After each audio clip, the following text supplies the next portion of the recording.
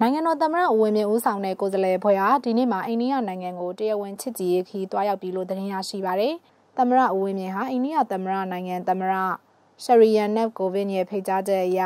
အိန္ဒိယနိုင်ငံကိုတွားရောက်တာလည်းဖြစ်ပါတယ်။သမ္မတဦးဝင်းမြင့်နဲ့အတူပြည်ပဆိုင်ရာပူးပေါင်းဆောင်ရွက်ရေးဝန်ကြီးဌာနပြည်ထောင်စုဝန်ကြီးဦးကျော်တင်သာသနာရေးနဲ့ယဉ်ကျေးမှုဝန်ကြီးဌာနပြည်ထောင်စုဝန်ကြီးသူရဦးအောင်ကိုပို့ဆောင်ရေးနဲ့ဆက်သွယ်ရေးဝန်ကြီးဌာနပြည်ထောင်စုဝန်ကြီးဦးတန်းစင်မောင် ရခိုင်ပြည်နယ်အစိုးရအဖွဲ့ဝန်ကြီးချုပ်ဦးညီပူတို့လိုက်ပါသွားတယ်လို့လည်းသိရပါဗျ။အဲ့ဒီခီးစဉ်အတွင်းသမ္မတအဝင်းမြင့်ကအိန္ဒိယသမ္မတကိုဗစ်ဝန်ကြီးချုပ်မိုရီတို့နဲ့တီးခြားတွေ့ဆုံဖို့ရှိပြီးနှစ်နိုင်ငံနားလည်မှုစာချုပ်လွှာတွေလည်းရေးထိုးသွားဖို့ရှိတယ်လို့သိရပါဗျ။သမ္မတဦးဝင်းမြင့်က2019ခုနှစ်မှာအိန္ဒိယဝန်ကြီးချုပ်မိုရီရဲ့ကျန်းသစ္စာကျင်းစုပွဲကိုတက်ရောက်ခဲ့ပြီးအခုတစ်ခေါက်ခီးစဉ်က